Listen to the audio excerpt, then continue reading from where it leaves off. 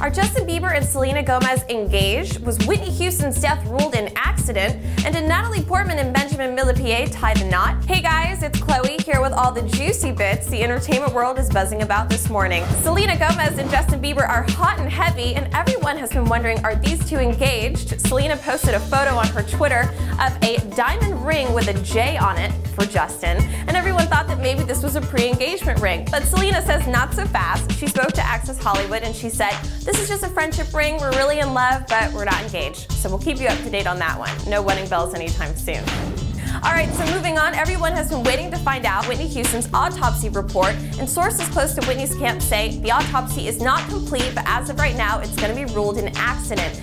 This is confusing to a lot of people because Whitney was found underwater in her bathtub Beverly Hills Hilton Hotel, leaving many to believe that maybe she overdosed on drugs, but the sources close to the camp are adamant that it was just an accident. So we will keep you up to date on the official report when it's released.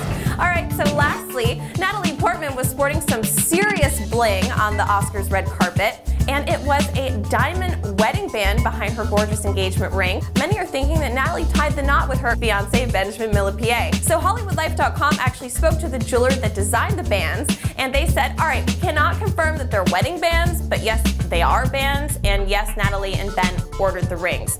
So the couple's reps will not confirm if these two did get married, but we're hoping they did. They're a cute couple.